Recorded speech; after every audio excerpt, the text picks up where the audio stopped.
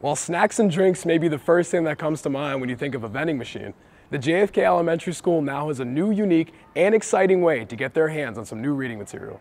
Last year, um, we had a teacher whose kids go to a different school in a neighboring town mentioned how her kid was coming home so excited that there was a book vending machine. So we kind of explored it last year, and then this year I started to work a little bit more seriously with the HEPG, our Holbrook Elementary Parent Group. The vending machine is not only one of the biggest attractions at the front of the school, but it also comes with its very own currency. In order to use it, kids have to earn one of these golden coins. It, regular money won't work in it. Some kids have tried.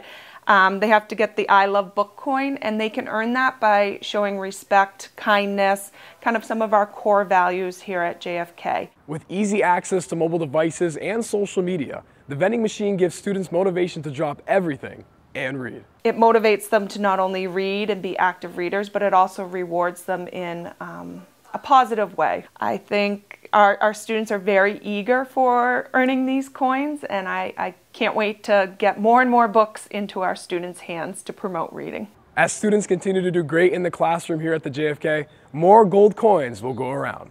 For Code Blue News, I'm Chuck Blue reporting.